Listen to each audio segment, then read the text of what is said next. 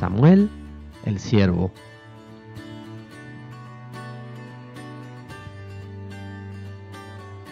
Ana fue una mujer casada con Elcana, un hombre bueno.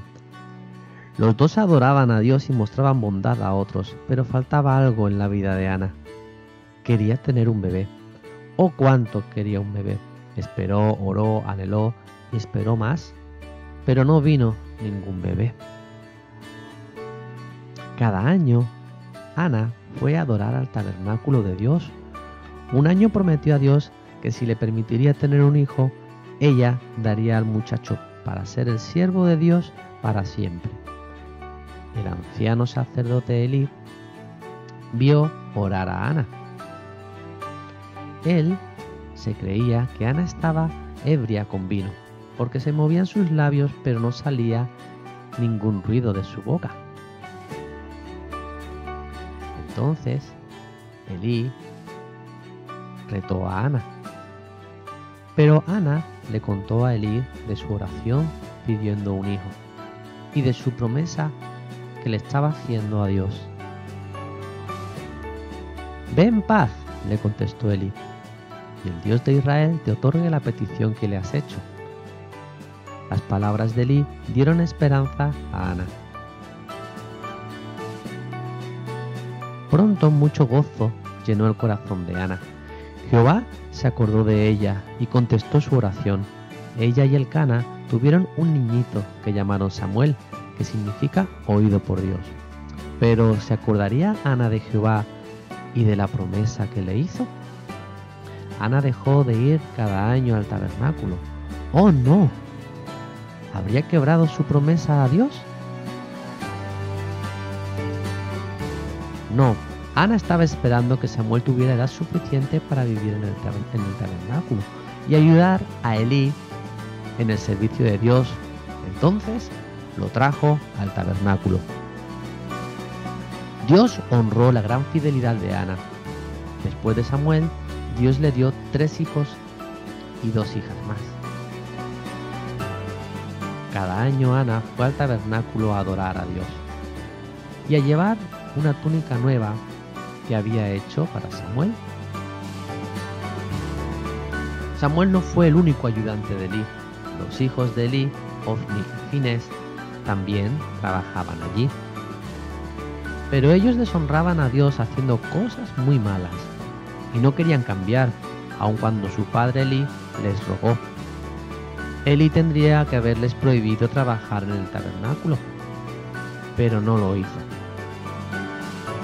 Entonces una noche Samuel escuchó una voz que le llamaba.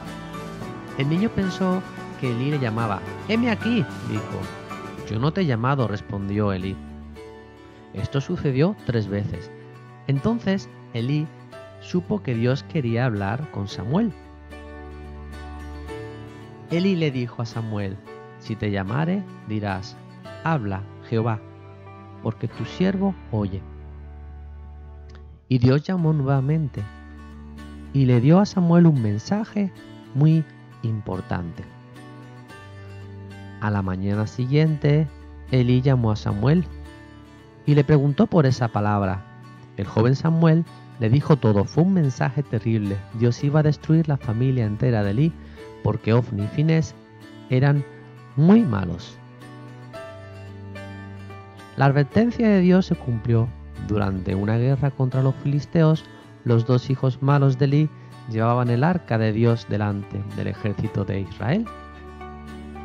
Entonces, el enemigo capturó el arca y mató a Ofni y a Finés, junto con muchos otros israelitas. Cuando Eli escuchó esto, se cayó, quebró su cuello y murió el mismo día. El arca de Dios trajo problemas a los filisteos lo pusieron en el templo de Dragón, de Dagón, su dios falso. En la mañana el ídolo Dagón se había caído postrado.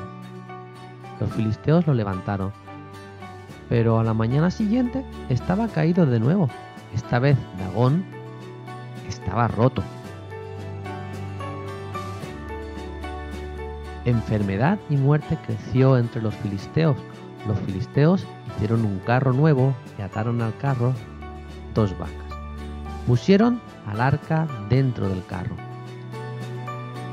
De esa forma querían ver si Dios los estaba juzgando. Ataron sus dos terneritos en casa. Si las vacas se van a Israel con el arca y dejan a sus terneros, sabremos que Dios ha hecho esto, dijeron.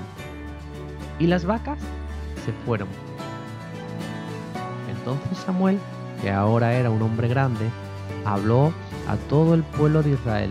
Si vuelven a Jehová de todo su corazón, Él los librará de la mano de los filisteos. El pueblo obedeció al profeta fiel de Dios, y la mano de Dios estuvo contra los filisteos todos los días de Samuel.